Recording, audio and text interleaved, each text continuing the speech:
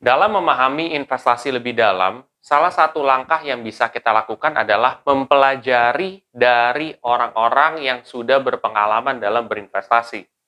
Nah, di video ini gue bakal coba sharing ke sobat investor semua perjalanan investasi gue selama 17 minggu. Kira-kira apa yang terjadi selama 17 minggu ini? Nah, di sini gue juga uh, memberikan sedikit info juga nantinya ke sobat investor dari perjalanan ini. Kira-kira buat kalian yang penasaran terhadap info apa yang gue beri, simak videonya setelah yang satu ini.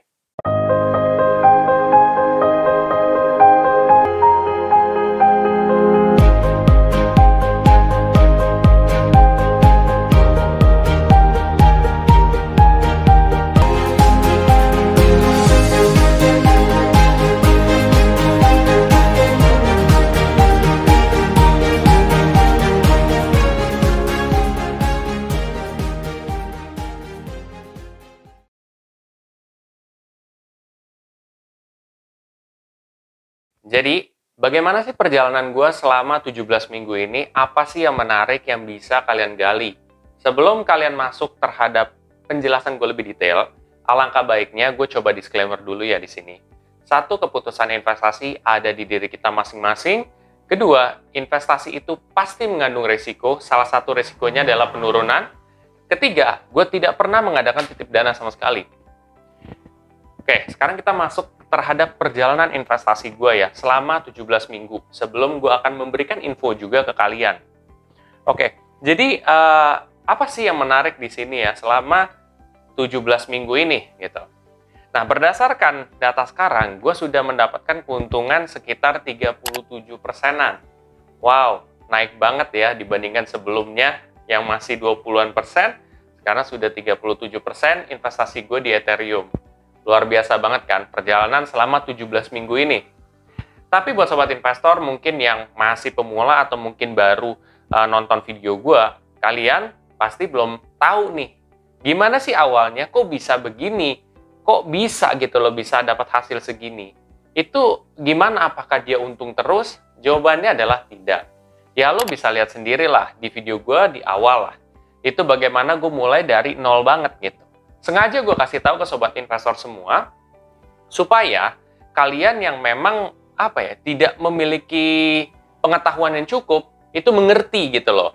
Kayak oh ternyata kalau misalkan dia turun itu tuh bukan sesuatu hal yang ditakutin juga gitu. Selama market capnya bagus volumenya bagus terus juga uh, analisanya bagus ya kenapa tidak karena setiap investasi yang memiliki potensi besar, pasti risikonya juga besar, kayak gitu.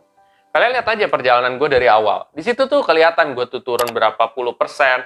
Bahkan ketika gue udah top up di minggu sebelumnya, lo kok uh, serasa kehilangan top up kemarin, minggu kemarin. Kenapa bisa begitu? Karena pengurangannya segitu dahsyatnya gitu. Sebegitu dalamnya turunnya gitu. Tapi apa yang terjadi kan pada saat itu juga gue tetap uh, berinvestasi secara rutin juga bahkan gue top up. Sekarang kalau gue tidak memiliki pengalaman ke sana nggak mungkin juga gue senekat itu atau mungkin gue berani ngasih tahu ke kalian dari nol. Nah gue kasih tahu dari nol tuh karena nggak banyak orang yang sebenarnya ngasih tahu kayak gitu. Kebanyakan mereka tuh ngasih oh nih portofolio gue sudah ratusan juta puluhan juta miliaran gitu. Tapi kamu nggak tahu prosesnya dari mana sih gitu Nah ini yang saya kasih tahu ke kamu gitu, dimulai dari nol gitu. Di situ kamu belajar dan ketika kamu belajar dan e, mengerti, itu tuh keuntungan itu bukan sesuatu hal yang sulit untuk didapat. Nah sebenarnya info yang gue pengen beri di sini itu seperti apa sih? Oke sebelum masuk ke sana, gue akan coba uh, ngasih apa namanya ngasih tahu juga, gue top up juga di minggu ini, ya top up di minggu ini sebesar 1000 ya 50 ribu ya jadi gue top up juga di minggu ini nah, sebesar 50 ribu. Ya. Habis itu ya udah caranya gampang aja gue tinggal klik beli. Terus habis itu masukin nominal investasi yang gue ingin investin. Udah gitu. Sesimpel itu doang gitu. Nah sekarang info apa sih yang gue pengen kasih tahu ke sobat investor semua di sini? Infonya adalah pernah ada, bukan pernah ada, ini sering banget ditanya nama sobat investor luar sana. Pentingan mana sih antara mindset dengan teknik ya. Ini banyak orang rancu nih, bahkan sempat ada subscriber setia gue yang bertanya, cryptocurrency itu sebenarnya tidak ada ilmunya di dalam karena itu full spekulasi. Menurut gue spekulasinya benar, tapi ada ilmunya. Ilmunya itu apa? Banyak gitu ya. Nah, tetapi gue selalu menekankan terhadap mindset. Karena kunci dari setiap investasi, ini setiap investasi yang gue pernah pelajarin selama gue hidup ya, itu adalah mindset. Mindset itu sangat penting. Kenapa? Gue udah buktiin. Nih ya, lo bisa lihat perjalanan dari awal. Gue menggunakan investasi rutin dollar cost averaging. Untung kan? Lo lihat misalkan di investasi gue di di apa namanya di reksadana menggunakan lamsam teori. Untung kan? Pertanyaannya, kira-kira apa memang strateginya yang bagus atau bagaimana sih? Jawabannya adalah bukan dari strateginya, dari mindsetnya. Kalau kamu mindsetnya udah benar, strategi apa pun kamu bisa berhasil. Makanya kalau kamu lihat ya, ada orang yang menggunakan trading, dia berhasil gitu. Tapi ada orang lagi yang menggunakan sistem trading, dia gagal. Kenapa? Karena mindsetnya nggak dapet. Mindset itu kan salah satunya adalah ketika lagi turun kita harus ngapain, ketika lagi turun apa reaksi kita, pemikiran kita tuh seperti apa. Semua pun juga mindset kesabaran juga lo harus punya gitu dalam berinvestasi. Nggak semuanya itu langsung untung cepat gitu, ada prosesnya juga. Ya kalau lo nggak sabar, nih ya, nih gue kasih tahu nih, trading aja yang orang mau dapat untung cepat, kalau dia nggak sabar, itu dia pasti gagal loh. Sekarang gini, trading itu dia harus apa ya membentuk satu pattern dulu misalkan hammer atau mungkin hang atau double bottom atau mungkin uh, apa nih oh ini udah ada kayak three soldiers kalau nggak ada formasi-formasi itu itu akan jatuhnya spekulasi besar nah kalau kalian nggak sabar untuk formasi itu terbentuk itu kalian bisa kemungkinannya gagal gitu Artinya apa? Even trading yang pengen dapat keuntungan besar dalam waktu singkat aja, itu juga butuh kesabaran gitu. Investasi apalagi ya, nggak usah kalian tanya gitu.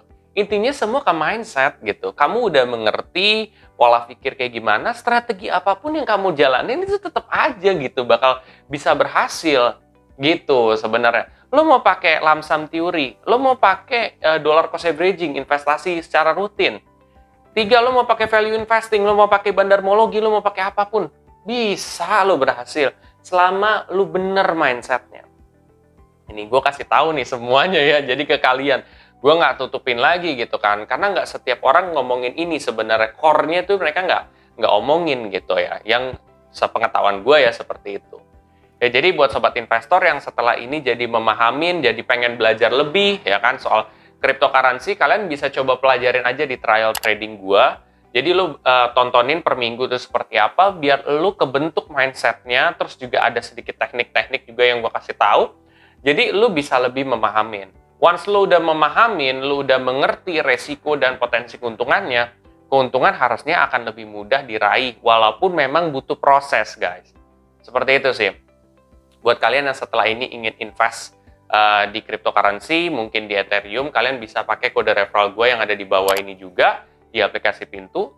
Nanti kalian bisa dapat 5.000 sampai sejuta. Tapi balik lagi itu adalah optional ya. Kalau kamu mau aja. Kalau kamu nggak mau juga nggak masalah. Yang penting kalian sukses dalam berinvestasi.